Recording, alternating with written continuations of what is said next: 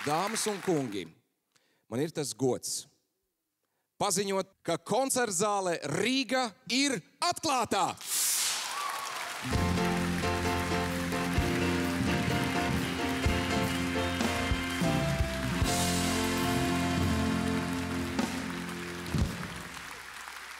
Un skanot jūsu aplausiem, es vēlos aicināt uz skatuvi cilvēku, kuram šie skatuves dēļi pirms vairāk kā 40 gadiem bija otrās mājas. Dāmas un kungi, Ojārs Grinbergs!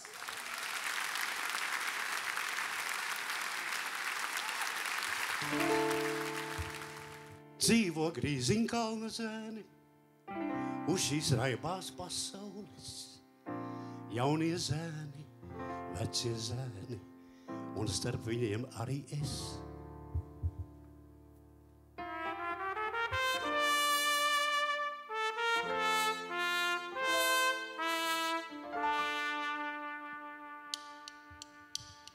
Anka, grīziņkalna zēni, mīlē savas meitenes, jaunie zēni, vecie zēni. Un starp viņiem arī es, arī es, arī es, arī es. Vēji aiznes rudens, lapās, tumšās dienas projām nes.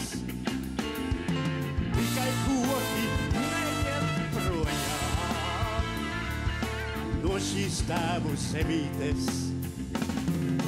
Vēji aiznes rudens lapās, tumšās dienas projām nes.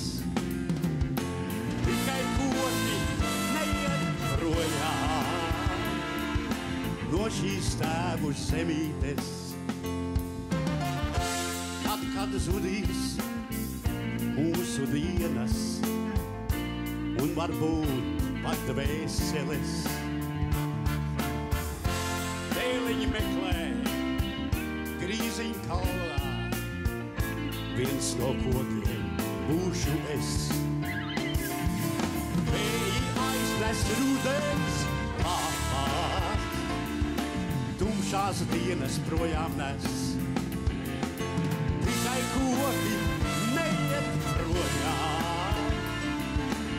no šīs tēvu zemītes. Vēji aiznes rudens lapās, tumšās dienas projām nes. Tikai koki neiet projām no šīs tēvu zemītes. Dzīvo grīziņkalna zēni uz šīs raibās pasaules.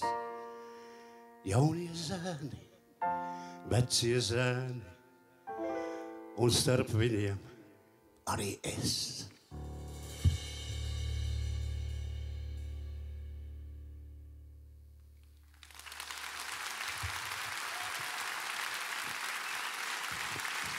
Paldies! Man ļoti liels prieks!